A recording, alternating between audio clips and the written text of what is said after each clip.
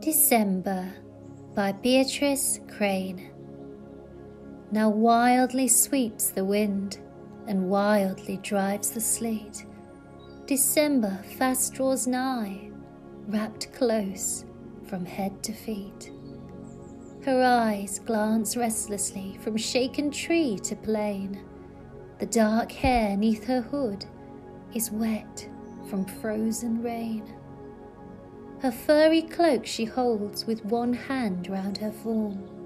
The other one lifts high a torch to light the storm.